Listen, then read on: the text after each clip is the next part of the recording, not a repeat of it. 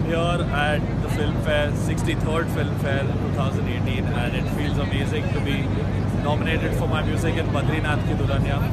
So just looking forward, happy, just come to enjoy the evening, and Filmfare is always fun.